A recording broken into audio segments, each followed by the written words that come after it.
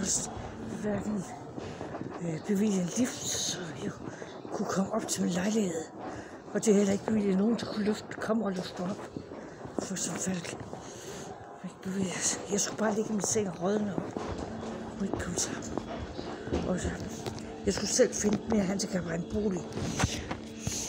Men jeg overholdt ikke servicelovens paragraf 116.